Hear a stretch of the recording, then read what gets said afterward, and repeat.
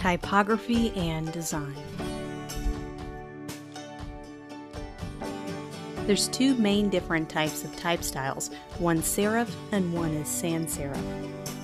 Serifs have these little tails at the end that help to accentuate the letter or character.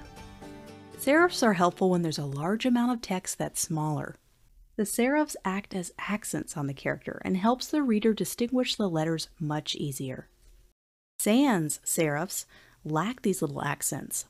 Because they lack those accents and huge amount of detail, they can make pretty solid, clean headlines and help headlines really stand out.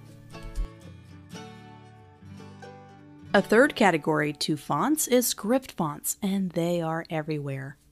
Script fonts have their own special use in design, and they can help add a more natural look with their smooth lines and lack of strict angles. And you got to be careful with script fonts because they can easily overwhelm a design piece if you use too many. You'll notice in this example these fonts pair very well together, probably because one is a sans serif and the other one is a serif font. Rarely do two different serif fonts look good together. The same thing goes with serif fonts. If you have two very similar styles, they tend to compete with each other quite a bit.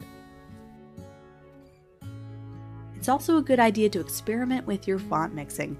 In this case, a script font works really well with a serif font, but it also works really well with a sans serif font. Font weights come in two basic sizes. There's usually light weights and there are also bold weights. And some fonts have everything in between, from thin, light, medium, bold to heavy. Raleway is an excellent font that has a wide variety of font weights available. Helvetica is another fine example of a font that has a wide variety of weights available and it gives you lots of options and flexibility when you're creating your design. That's why Helvetica is used so much in design. And Gill Sans is another great example. You'll notice when you use two different weights in the same font family, you notice they pair very well together and provide a balance to your typography. And spacing makes all the difference. There's default spacing, which you're seeing right here, which is the default spacing between the characters. If you widen the gaps between the characters, you'll notice it starts to take on a different characteristic. In this case, it can take on a more elegant look with those wider gaps. There's also tight spacing, which has its own use in design. If you want to be loud and bold, it can really get your attention. You start to tighten that spacing. Some fonts do not work well with certain spacing. Take, for instance, lowercase letters. Wide spacing can make it a little bit tough to read, and it feels a little disconnected. Opposite is true for uppercase letters. They're a little bit stronger, so the wider spacing between the characters, they remain strong and easy to read.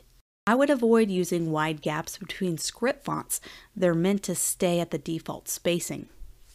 When it comes to spacing in graphic design, you'll notice these three different terms quite frequently in the terminology. Kerning is when you set the spacing between the characters all on your own. Tracking is letting the computer set the spacing between the characters. And spacing is just a general term you'll see designers use interchangeably with the above two. Italics can be very useful and they can make wonderful accents.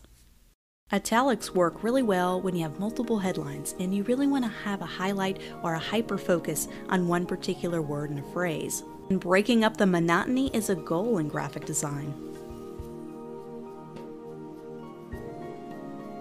Lowercase letters have a softer, more gentle feeling to them, and this can go along with the emotions you want to bring out to the viewer when they look at your design piece. All capital letters can look really good on headlines, but they tend to have a more stronger feeling to them. In some cases, this may not be what you want your viewer to feel, and sometimes it's necessary for grabbing one's attention. And as you'll find with everything in design, balance is key, and having a mix of lowercase, uppercase, and different font styles really helps to bring everything together. Find ways to shake up your typography usage by using a wonderful combination of serif and sans serif fonts together using a mix of capital and lowercase. This ensures your design is interesting, unique, and diverse.